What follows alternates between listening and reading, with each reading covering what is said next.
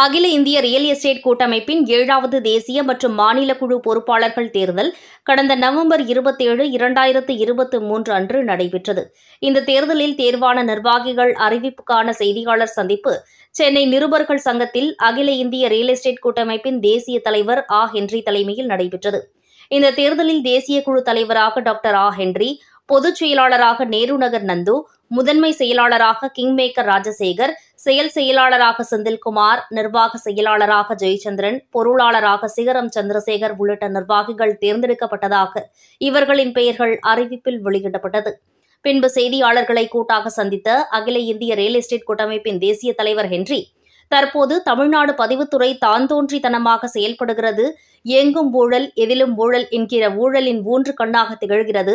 அரசுக்கு பெருமளவில் வருவாயை ஈட்டித்தரும் கட்டுமானம் உள்ளிட்ட ரியல் எஸ்டேட் தொழிலை முன்னெடுக்கும் தொழில் முனைவோர்கள் ஆகிய நாங்கள் எல்லாம் சாதாரண பதிவாளர்கள் முன் பிச்சைக்காரர்கள் போல் நடத்தப்படுகிறோம். மக்கள் நலனில் பதிவுத்துறை துளியும் அக்கறை செலுத்துவதில்லை. மாறாக நிலங்களின் மீதான அரசு வழிகாட்டி மதிப்பினை விண்ணை முட்டும் அளவிற்கு கண்ணை கட்டும் அளவிற்கு பதிவுத்துறை ஒவ்வொரு நாளும் உயர்த்தி வருகிறது.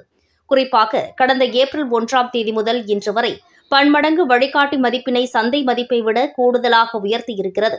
தனது வாழ்நாளில் அடிப்படை தேவைகளில் ஒன்றான சொந்த இல்லத்தினை முதன் முதலில் புதிதாக வீடு வாங்க வேண்டும் என்று நினைப்பவர்களின் கனவினை இது களைய வைக்கிறது. புதிய வீட்டுமனை பிரிவிற்கு வழிகாட்டி மதிப்பு நிர்ணயம் செய்வதற்கு சார் பதிவாளர் அலுவலகத்தில் ஆவணத்தை தாக்கல் செய்தால் அது குறித்து அவர் மாவட்ட பதிவாளர் பரிந்துரை செய்வதற்கு பெருமளவில் பணம் கேட்கிறார். இது சம்பந்தமாக குழுவாக சார் பதிவாளரை அணுகி நியாயம் கேட்டால் பதிவுத்துறை அமைச்சர் கேட்கின்ற பணத்தை கொடுக்கிறீர்கள். நாங்கள் கேட்கிற பணத்தை கொடுக்க மாட்டீர்களா என அதிகார தோரணையில் மிரட்டுகின்றனர். மேலும் சார் பதிவாளரும் மாவட்ட பதிவாளரும் கேட்கிற பணத்தை கொடுக்கவில்லை எனில் நூறு ரூபாய் விற்கும் சொத்திற்கு ஐநூறு ரூபாய் என வழிகாட்டி மதிப்பு நிர்ணயம் செய்கிறார்கள். இது சம்பந்தமாக அமைச்சரை அணுகி குழுவாக கேட்டால் மகளிர் உரிமைத் தொகை கொடுப்பதற்காக பணம் தேவைப்படுகிறது என்று நேரடியாகவே மாநில அரசுக்கு பதிவுத்துறையின் மூலம் வருவாய் வருவதினால் இதனை பெருமளவில் உயர்த்த சொல்லி மேல் இடத்தில உத்தரவு. எங்களால் எதுவும் செய்ய முடியாது என கைவிரிக்கின்றனர் தமிழக முதல்வர் அவர்கள் தனது தலைமையின் கீழ் தமிழகம் அனைத்து துறைகளிலும் நாளும் வளர்ச்சி கண்டு வருகிறது. மக்கள் எல்லோரும் நிம்மதியாக வாழ்கின்றனர் என்று நினைத்துக் கொண்டு பகல் கனவு காண்கிறார் என்றார். நீங்கள் இப்படி தகவல்கள் தெரியாமல் கேட்பது எங்களுக்கெல்லாம் வேதனையாக இருக்கிறது. நாங்கள் எங்களுக்காக ஒன்றும் பேசவில்லை. அடிப்படையிலே மனிதனுடைய வாழ்வியலிலே உணவு உடை இருப்பிடம் முறையுள் என்கிற அந்த அடிப்படை தேவைகளுக்காக உங்களுக்காகத்தான் பேசிக் கொண்டிருக்கிறோம். இந்த ரியல் எஸ்டேட் தொழில் இன்றைக்கு நேரடியாகவும் மறைமுகமாகவும் கிட்டத்தட்ட மக்கள் தொகையினுடைய பெருக்கத்திலே இருபத்தைந்து சதவீதம் பேருக்கு வேலை வாய்ப்பினை அள்ளி கொடுத்து கொண்டிருக்கிறது. படித்துவிட்டு வேலையில்லாத இளைஞர்களுக்கு சுயதொழில் வேலை வாய்ப்பை உருவாக்கி தந்து கொண்டிருக்கிறது. நாங்கள் எல்லோரும் தொழில் முனைவோர்கள். ஆனால் ஒரு சாதாரண பதிவாளர் எங்களை எல்லாம் அடிமைகளாக இன்னும் கூடுதலாக ஏசகக்காரர்களாக பெக்கராக பிச்சைக்காரர்களாக நடத்துகிறார்கள். என்ன நடந்து கொண்டிருக்கிறது இந்த ஆட்சியில்? இவர்களுக்கு அதிகாரம் கொடுத்தது யார்? இவர்களிடத்திலே பதிவுக்காக நாங்கள் சென்றால் எங்களிடத்திலே ஒவ்வொரு ஆவணங்களுக்கும் அந்த மதிப்புக்கேற்ப லட்சங்களிலும் கோடிகளிலும் கையூட்டை பெற்றுக்கொண்டு தான் பதிவு செய்கிறார்கள். காரணம் கேட்டால் அமைச்சருக்கு கொடுக்கிறீர்களே அதுக்கு மாத்திரம் உங்களுக்கு பணம் இருக்கிறதா? எங்களுக்கு கொடுக்க மாட்டீர்களா என்று சொல்லி அதிகார தோரணையில எங்களுக்கு அழுத்தம் கொடுக்கிறார்கள். எங்களிடத்திலே மிரட்டி பணம் பறிக்கிறார்கள். இந்த பணத்தை எல்லாம் நாங்கள் யார் தலையிலே சுமத்துவது? பொதுமக்களாகிய உங்கள் தலையில் தான் நாங்கள் சுமத்த முடியும். எங்களுக்கு வேறு வழி இல்லை. உங்கள் தலையில் தான் சுமத்தணும். அதே போன்று மனைப்பிரிவு அனுமதி பெற்று நாங்கள் வழிகாட்டி மதிப்பை நிர்ணயம் செய்வதற்கு எங்களிடத்தில் பல லட்சம் கையூட்டை பெற்றுக்கொண்டு தான் அந்த கைட்லைன் வேல்யூ வழிகாட்டி மதிப்பு கூட நிர்ணயம் செய்யப்படுகிறது. பணத்தை கொடுக்கவில்லை என்று சொன்னால் வெறும் நூறு ரூபாய் விற்கக்கூடிய இடத்திற்கு ஐநூறு ரூபாய் மதிப்பு நிர்ணயம் செய்யப்படுகிறது. நாங்கள் எப்படி விற்க முடியும்? கடந்த நிதியாண்டு முப்பத்தி ஒன்று மூணு இரண்டாயிரத்தி இருபத்தி மூன்றோடு முடிவுக்கு வந்துவிட்டது. இனி சாதாரண சாமானிய மக்கள் தங்களுடைய இல்ல கனவுகளை நினைவாக்கிக் கொள்ள முடியாத நிலைக்கு தள்ளப்பட்டிருக்கிறோம். வங்கிகள் கூட அந்த வழிகாட்டி மதிப்பு எப்படி நிர்ணயம் பண்ணுறாங்கன்னா ஒரு சதுரடி ஆயிரம் ரூபாய் விற்கிதுன்னு வச்சுக்கங்க சந்தை மதிப்பு. ஐநூறு ரூபாய் நிலத்துக்கான மதிப்பு. மீது இருக்கிற ஐநூறு ரூபாய் சாலைகளை மேம்படுத்துகிறோம் சாலைகளுக்காக விடுறோம் சுற்றுச்சுவர் அமைக்கிறோம் தெருவிலுக்கு அமைக்கிறோம் ட்ரைனேஜ் சிஸ்டம் குடிநீர் கழிவுநீர் திட்டங்கள் அமைக்கிறோம். இப்படிப்பட்ட திட்டங்களுக்காக டெவலப்மெண்ட் சார்ஜஸ் அபிவிருத்தி கட்டணம் என்கிற அடிப்படையில் ஆயிரம் ரூபாய் விற்கக்கூடிய இடத்திற்கு ஐநூறு ரூபாய் நிலத்துக்கான மதிப்பும் ஐநூறு ரூபாய் அபிவிருத்திக்கான மதிப்பும் என நிர்ணயிக்கிறது. இந்த அடிப்படை அறிவு கூட இந்த அறிவார்ந்த பதிவுத்துறைக்கு இல்லை. அறிவிலிகளாக இந்த மாவட்ட பதிவாளர்களும் பதிவாளர்களும் செயல்படுகிறார்கள். பதிவாளர்களும் மாவட்ட பதிவாளர் பதிவாளர்களும் கேட்பதை கொடுக்கவில்லை என்று சொன்னால் அந்த கிராமத்திலேயே உச்சபட்ச மதிப்பை பரிந்துரை செய்து வழிகாட்டி மதிப்பை நிர்ணயம் செய்கிறார்கள்.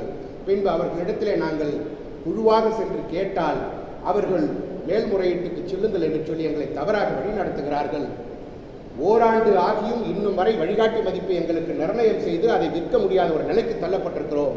நிலங்களை வாங்குவதற்காக பெற்ற கடன்களை எல்லாம் திருப்பி செலுத்த முடியாத நிலைக்கு தொழில் முனைவர்களாகிய நாங்கள் எல்லாம் மிகுந்த அவமானத்துக்குள்ளாக தள்ளப்பட்டிருக்கிறோம். இந்த நிலைகளை பத்திரிகை மற்றும் ஊடகத்துறையின் வாயிலாக தன்னுடைய தலைமையின் கீழ் மிகச் சிறப்பாக ஆகச்சிறந்த ஆட்சியை கொடுத்து கொடு- கொடுப்பதாக நினைத்துக் கொண்டிருக்கிற மாநில தமிழக முதல்வருடைய கவனத்திற்கு கொண்டு செல்வதற்காகத்தான் உங்களை எல்லோரையும் அழைத்திருக்கிறோம். வேறு அரசியலுக்காகவோ அல்லது அரசை குறை சொல்வதற்காகவோ ஆட்சியை அவமானப்படுத்துவதற்காகவோ முதல்வரை குறை சொல்வதற்காகவோ உங்களை அழைக்கவில்லை. நாங்கள் இந்த இந்த கூட்டத்திற்கு வரவில்லை. நீங்கள் எல்லோரும் அரசுக்கு அமைச்சருக்கு முதல்வருக்கு இந்த செய்திகளை கொண்டு செல்வீர்கள். நிச்சயமாக அவர்கள் பொறுப்பேற்று மக்கள் நலன் கருதி கட்டுமானம் உள்ளிட்ட ரியல் எஸ்டேட் துறையின் பொருந்தவில்லை. ஒரு பக்கம் ஒரு நீதியும் இன்னொரு பக்கம் அநீதியும் ஒரு கண்ணில் சுண்ணாம்பு ஒரு கண்ணில் வெண்ணையை வச்சு இந்த பதிவுத்துறை செயல்படுகிறது. முதல்வருக்கு இது தெரியுதா தெரியலையான்னு தெரியல. அதை முதல்வருக்கு தெரியப்படுத்தணும் தான் இந்த பத்திரிகையாளர் சந்திப்பு.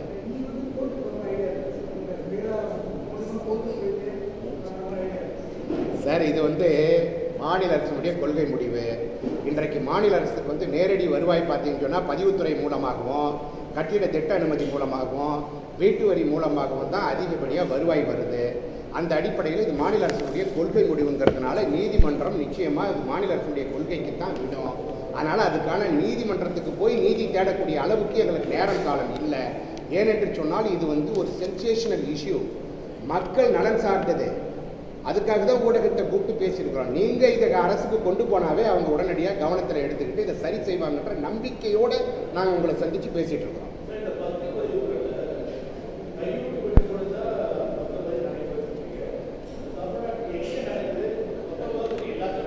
முப்பத்தெட்டு மாவட்டங்களில் நடைபெறுது. பதிவுத்துறை பக்கம் போயிருக்கீங்களா பிரதர்? அதாவது நிம்மதியாகவும் விடுதலையோடும் நாங்கள் பதிவுத்துறைக்கு சென்று பதிவு செய்து கொண்டிருந்தோம். இன்றைக்கு பதிவுத்துறை பக்கம் செல்வதற்கே எங்களுக்கு பயமாக இருக்கிறது. அனைத்து மேசைகளும் லஞ்சம் கேட்கிறது. அனைத்து அலுவலகத்திலும் கேட்கிறது. குறிப்பாக சொல்லணும்னு சொன்னீங்கன்னா நீங்கள் ஐநூற்றி எழுபத்தி அஞ்சு ரிஜிஸ்டர் ஆஃபீஸ்லேயே கேட்குது.